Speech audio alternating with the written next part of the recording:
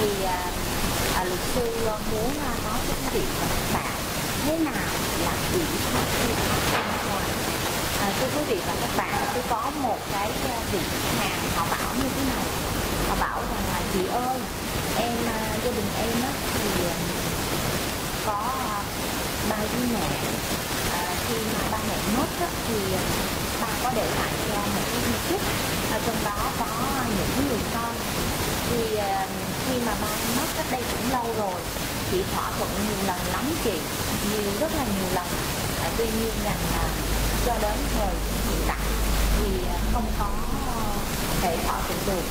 À, tôi mới bảo với anh rằng là lý do tại sao mà mình không thể thỏa thuận được thì anh bảo với tôi rằng là à, tức là với chị rằng là em có một anh chị em ruột đang sinh sống và làm việc ở nước ngoài. Ờ, à, người này thì lại không đồng ý chia cái tài sản vậy thì em sẽ làm như thế nào? Thưa quý vị và các bạn cái việc mà ủy thác tư pháp à, ra nước ngoài là một cái việc mà đương sự là người nước mình hiểu như vậy đi. Và việc ủy thác tư pháp này thì trong cái việc ủy thác tư pháp này thì uh, cái mà em đã quan tâm đó là những trị chi pháp ở hôm nay trong cái video này tôi nói về chi phí ủy thác pháp quý vị và các bạn nhé à, tôi cũng có một cái vụ kiện tại tòa án nhân dân thành phố Hồ Chí Minh ở trong đó có cái cái thông báo về việc à, thông báo nộp tạm ứng tháng phí cho một cái chi phí tố tụng trong à, cái chi phí tố tụng thì à, người Việt Nam à, khởi kiện à, có liên quan đến người à, nước ngoài. Và trong cái việc à, người à, khởi kiện họ có cung cấp được cái thông tin của người nước ngoài. À, tuy nhiên rằng để cái thông tin này thông qua con đường tòa án thì buộc lòng phải có những cái vị pháp tư pháp có hai cách để à, chúng ta à, liên hệ với người nước ngoài nếu như trong trường hợp cái người à, à, Việt kiều ở nước ngoài họ hợp tác với chúng ta thì chúng ta sẽ à, lập một cái văn bản ở trong đó có tờ trình có bản tự khai về ý chí của họ đối với cái vụ việc đang tranh chấp ở tòa án. Đó là việc à, cái sự thỏa thuận. Còn nếu như trong trường hợp đối với cái à, kiều bà ở nước ngoài không hợp tác thì chúng ta dẫn đến chúng ta phải có cái việc gọi là ủy thác tư thông qua con đường tòa án. Thì à, thưa với quý vị và các bạn cái chi phí ủy khác tư pháp thì à, nó gồm những chi phí như thế nào? Những cái chi phí ủy khác tư pháp thì theo cái khoản à, theo điều 152 của bộ luật tố tụng dân sự nghĩa vụ nộp tiền tạm ứng chi phí ủy thác tư pháp ra nước ngoài đối với cái khoản một là nguyên đơn, người kháng cáo theo thủ tục phúc thẩm hoặc đương sự khác trong vụ án phải nộp tiền tạm ứng chi phí ủy thác sang nước ngoài khi yêu cầu của họ làm phát sinh việc ủy thác tư pháp sang nước ngoài cái khoản thứ hai là người yêu cầu tòa án giải quyết việc dân sự, người kháng cáo theo thủ tục phúc thẩm hoặc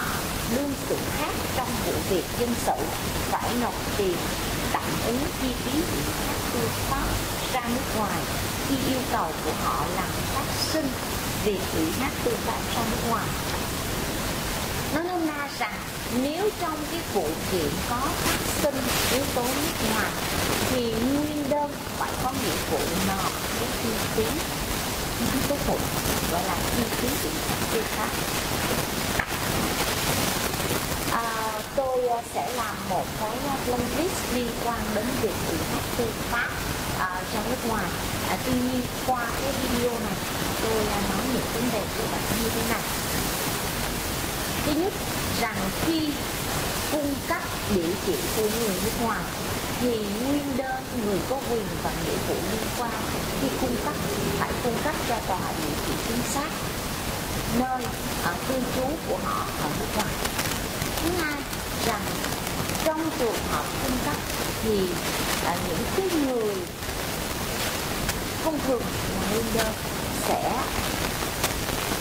đóng một cái khoản phí gọi là phí ủy thác tư pháp thì à, theo cái um, uh, thông tư uh, theo cái nghị quyết 02 á cái nghị quyết ờ, uh, 326 á, thì cái chi phí ủy thác tư pháp đó là lệ phí ủy thác tư pháp của tòa án nước ngoài tại Việt Nam. Là một triệu đồng. À, sau này thì uh, trong cái thông thường thì những cái chi phí ủy thác tư pháp mà gọi là tôi đã làm thì thường là đóng khoảng ba triệu đồng thêm nữa. Những cái chi phí dịch thuật sang các thứ tiếng ví dụ hiện tại rằng nếu trong trường hợp chúng ta muốn chỉ thác tư pháp một cái giấy tờ tống đạt một cái giấy tờ văn bản của tòa án đến um, nước pháp thì chúng ta buộc lòng phải dịch thuật sang tư pháp. Và chi phí đó thì nguyên đơn thông thường nguyên đơn cái người yêu cầu chịu nếu chúng ta à, muốn à, ủy thác tư pháp sang à, à, liên bang nga thì chúng ta phải dịch cái văn bản. À, và tòa sẽ dịch cái văn bản để chúng ta chịu ngoài cái phần chi phí ủy thác là khoảng ba triệu à, cộng với lại chi phí dịch vụ à, sang tiếng tiếng nga à, và như vậy thì à, nếu nếu là nước úc thì chúng ta cũng sẽ dụng ra sang tiếng anh nước úc thì chúng ta sử dụng sang tiếng anh và câu trả lời của tôi rằng nếu trong trường hợp một lần cho một cái chi phí ủy khác thì tương đương vào khoảng ba triệu đồng cộng với cái chi phí dịch vụ. À, như vậy đã trả lời được uh, quý vị và các bạn cái chi phí ủy thác tư pháp nó có lớn hay không? À, thưa quý vị và các bạn chắc chắn cái việc mà ủy thác tư pháp uh, ra nước ngoài là một cái vấn đề uh, cần phải mổ xẻ uh, và phải uh, làm nhiều mới hiểu được và uh, thông qua cái chương trình liên quan và cái Việt Nam tôi muốn đưa cho quý vị và các bạn một cái góc nhỏ của lệ phí ủy các tư pháp. À, tôi muốn trả lời cái anh khách hàng ở trong cái việc à, anh bảo rằng chị ơi nếu trong trường hợp con nhân sự đang ở nước ngoài có thể rằng là nguyên đơn bị đơn thì có quyền và nghĩa vụ liên quan trong cái trường hợp chuyện của anh thì anh có quyền à, nhờ tòa án để chịu tư pháp đến người thì à, những cái chi phí tư pháp thì thường phải chịu tôi có nói rồi đó quý vị các bạn chi phí thường khoảng một triệu đồng cho một lần chuyển tư pháp và những chi phí dịch vụ và còn những cái việc mà tư pháp mấy lần à, thông thường thì mà thông thường thì tôi cho rằng khoảng từ bảy lần chúng ta có thể dùng cái vị trí đó lên ở trong cái uh, khả năng kiến thức của luật sư cái việc mà bị các tư pháp nó là số để chúng ta biết lượng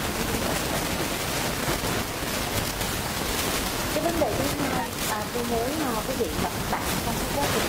ở tòa chúng ta có những cái chi phí phát sinh này à, thì thưa quý vị và các bạn trong những video trước tôi có nói một cái chi phí cho việc khởi kiện ở tòa thì gồm thứ nhất là tạm ứng chi phí thứ hai chi phí đo vẽ thứ ba là chi phí định giá. Đối với những cái vụ việc có yếu tố nhất này thì chúng ta sẽ có thêm cái chi phí gọi là chi phí tư pháp à, như vậy thì quý vị và các bạn khởi kiện thì chúng ta sẽ ước lượng xem những chi phí đang là không lớn hay là có phù hợp với cái túi tiền của chúng ta hay không? Để chúng ta biết chúng ta quyết định chuyện tôi cũng không có mong muốn cho quý vị các bạn sẽ ngồi gian phật, những cái vụ tranh chấp uh, trong cái uh, gia đình. Uh, nhưng vấn đề là ở chỗ nếu chúng ta À, không thể thỏa thuận được bằng con đường gia đình. À, chúng ta không thể được thỏa thuận được trong cái vụ tranh chấp hợp đồng mua bán à, chuyển nhượng hoặc tranh chấp hợp đồng nguồn vốn. Thì chúng ta buộc còn phải khởi kiện ở tòa. Và trước khi chúng ta khởi kiện ở tòa chúng ta sẽ thương lượng về cái giá. Cái giá và chúng ta biết được những cái chi phí mà chúng ta đi trong cái quá trình chúng ta đi để chúng ta tránh đau đầu. Trời ơi không biết mình đi tòa tới thời điểm này là còn đóng được cái khoản phí nào nữa hay không? À, nếu quý vị và các bạn có những cái vấn đề liên quan đến việc ủy thắng sư pháp hoặc những vấn đề liên quan đến việc thi chứng tố tụng thì chúng ta hãy à, để lại comment để chúng tôi sẽ à, có những cái kiến thức gửi đến quý vị và các bạn à, mong san sẻ kiến thức luật cho quý vị và các bạn để nâng lên cái tầm kiến thức cho chúng ta tất cả những người dân theo đúng cái chương trình sâu gần dân ta và biết chúng ta. À, xin trân trọng cảm ơn quý vị và các bạn đã à, lắng nghe chờ đợi giờ